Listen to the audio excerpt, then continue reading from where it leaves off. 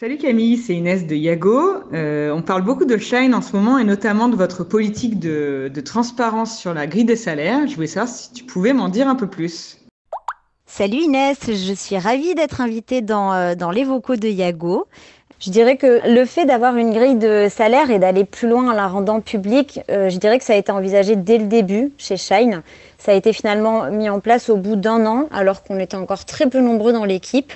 Je dirais que cette réflexion, elle rentrait dans l'objectif plus général d'essayer de construire une entreprise saine et, et, responsable. En fait, quand on y a réfléchi, on s'est dit que cette question du salaire, elle intervient au tout début de la rencontre avec, euh, avec nos candidats, avec la fameuse question quelles sont tes prétentions salariales? Et on a remarqué que selon le métier, l'expérience ou même le genre, cette question pouvait être plus ou moins compliquée pour les candidats. On a remarqué qu'il y avait des personnes plus ou moins à l'aise que d'autres en négociation. Il y a certaines personnes qui s'inhibent à ce moment-là. Euh, en fait, ça révèle pas mal de syndrome de l'imposteur. Et, nous, du coup, euh, dès ce moment, donc dès cette première rencontre, on avait envie de limiter les injustices et on a trouvé que la grille, enfin la grille publique des salaires permettait bien de répondre euh, aux problèmes. Ok, et, et, du coup, quels sont les critères que vous avez pris et que vous avez surtout retenus pour définir cette grille? Il y en a plusieurs des critères. On a d'abord construit une classification par métier, euh, telle qu'une colonne correspond à une fonction chez Shine. Euh, après, il y a évidemment des, niveaux sur ces métiers. Il y a un bonus d'expérience qui vient euh, récompenser l'entièreté de l'expérience professionnelle liée ou non euh, au, métier, au métier que le candidat exerce aujourd'hui. Il y a ensuite une prime selon le lieu de vie de 3500 euros pour les personnes qui habitent autour de Paris. Pour les autres, on, on prend en charge plein d'avantages, dont les allers-retours. Euh, et enfin, il y a une prime par personne à charge qui correspond à un montant de 2500 euros euh, par personne à charge, par an ou enfant.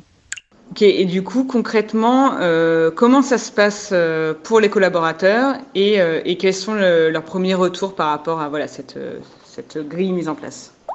La première chose, et euh, c'est aussi un objectif qu'on avait en réfléchissant à cette grille, c'est que forcément, euh, la publication de la grille, ça a limité les rumeurs et les inquiétudes, frustrations qu'il peut y avoir, de type euh, bah, qu'est-ce qui se passe chez le voisin, quoi.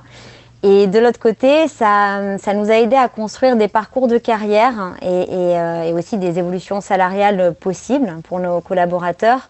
Donc finalement, la grille s'inscrit dans, dans, une culture managériale où on a des revues d'objectifs hyper régulières. Chez Shine, c'est un peu particulier parce que c'est à la demande du collaborateur, donc ça peut être tous les trois mois, six mois, neuf mois. Et on a aussi des revues de niveau dans la grille, après ces revues d'objectifs, qui sont hyper régulières.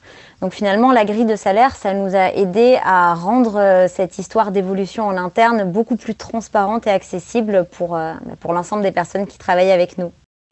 Ok, merci Camille. Et côté candidat, comment comment c'est perçu? Est-ce que euh, est-ce que finalement cette transparence, ben, ça fait que vous avez des plus de candidats qui veulent vous rejoindre? L'attractivité, c'était pas le point de départ de la réflexion, mais avec le recul qu'on a depuis trois ans, on peut pas nier qu'il y a un impact euh, de, la publication de cette grille sur notre marque employeur. Euh, du coup, on met les salaires directement dans nos offres et on a aussi tout un article qui explique la démarche sur notre page carrière. Je dirais que euh, globalement, c'est plutôt perçu positivement par les candidats. J'ai l'impression que c'est un gage de transparence qui permet de commencer à entrevoir un peu la culture de la boîte. Donc euh, parfois, forcément, ça nous coupe de certains candidats dont les prétentions sont euh, supérieures à ce qu'on peut offrir, mais c'est pas forcément négatif. C'est plutôt un gain de temps pour un côté euh, comme pour l'autre finalement.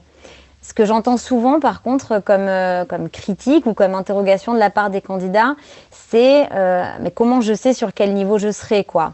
Malheureusement, c'est vrai que parfois, on est ouvert à recruter sur euh, plusieurs niveaux, par exemple le C ou le D, et donc c'est le process et les tests techniques qui va nous indiquer où le candidat pourrait être positionné.